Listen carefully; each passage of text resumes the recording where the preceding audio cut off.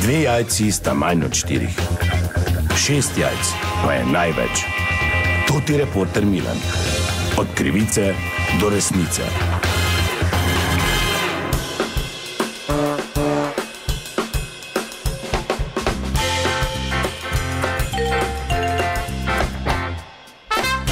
Dame in gospodje, to je reporter Milan, sem ponovno na sledi zgodbe. Morda ste slišali o enem primeru ljubiteljskega ali pa nekdanjega skakalca na smučeh, ki je želel v tem planiškem vikendu, ki se je že začel, uh, skočiti na velikanki na lastno odgovornost. Dobil je rdečo luč od organizatorjev, jaz pa imam gospoda ta trenutek pred mikrofonom in sicer je to gospod Polda Klaneček, uh, kot sam pravi, legenda med slovenskimi smučarskimi skakalci. Polda, zdravo. Ja, zdravo, nekaj moramo, jaz sem še vedno član skakalnega kluba Kamnica, tako da eh, ne gre za rekreativca, ne?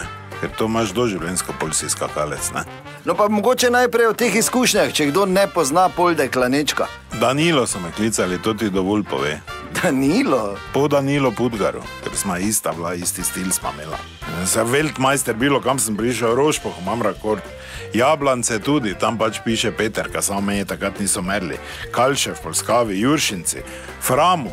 Framu, ko so bili skoki, sem rekel, poli mi malo bučnega olja, ker veš, da je prek ceste oljarna tam, ne? Ja, je, ja. Ker bom tam telemark naredil, ne? Da me ne zabremza. Dobro, tam pa niste mogli prek A skočiti. dobro, promet so mogli vstaviti, ko sem jaz kako, da se ne menimo v pekerski velikanki, ker sem do tuje transformatorske postaje dol leto. Tako da niti sodnikov več ni bilo.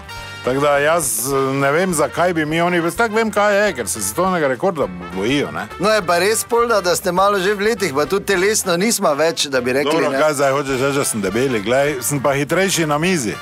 Ti moraš več pri velikanki, je tako, se nisem enkrat tam bil. Skočil še nisem, ker me niso pustili, bi pa zdaj rad. Če spukl, ko greš, pol te tak nese. Mene je šmigoc eh, iz tuja naredil obleko. Jaz neko netopir, kosmato, tako da dlake beg visijo. Si normalno, ko si se šel pomeriti, meni so dlake po konci stale, ko sem se v špegel pogledal. Te smo šli k ribiču, nekaj požrli, na to pa spili.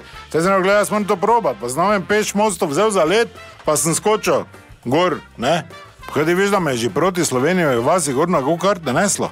Jaz sem mogel skok skrajšati. E, Pa kak, ti so pa res nizek most. Ja, to ti pravim, glih, zato pa jih je strah. Ja, zdaj pač polda, z- roke so zvezane. Ja, vem, ja, samo za me direkt silijo, da gremo z Jožem po noči, da se prešvercam, pa da skočim, pa da pol ne vim, svetovni rekord pa ni posneto, pa nič. In kam jaz zdaj pol? Štil od krampa, sam noč zapikno, pa tablo narejo.